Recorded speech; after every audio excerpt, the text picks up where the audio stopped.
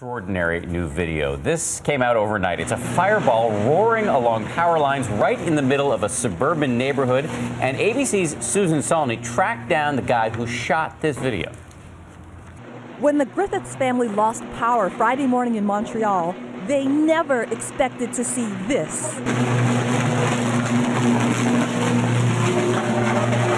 Some kind of an electrically fueled mass, a fireball, blazing down the power lines toward their house.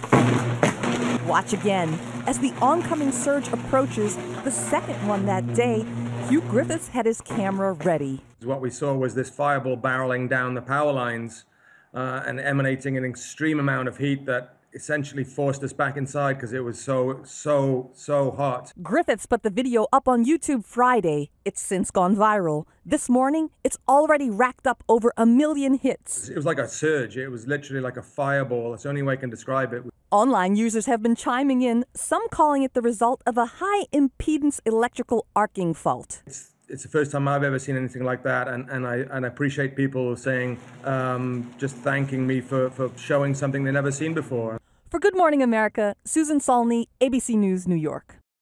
Wow, that is frightening. Yeah, Good thanks thing no to one was hurt. Susan Saulny for sh- uh, for uh, doing that report. And I can tell you, if that was happening in front of my house, I would not have the wherewithal to continue filming. Would you I'd be freaking out? Hiding under the couch.